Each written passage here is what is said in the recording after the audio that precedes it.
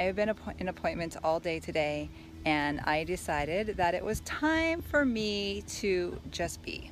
So instead of going straight home, putting on my next hat, you know, being a mom, being a wife, doing some more work, I was like, no, what you need to do is just be.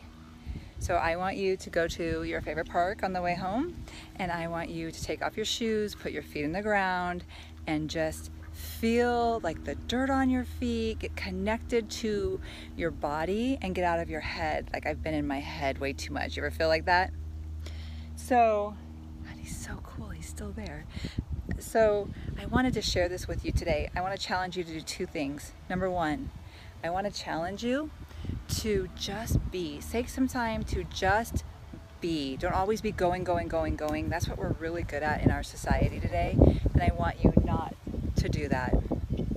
At least every once in a while, once a week, take some time just for yourself. Come out in nature. That's what makes me thrive. Whatever it is that makes you thrive, come out and do that.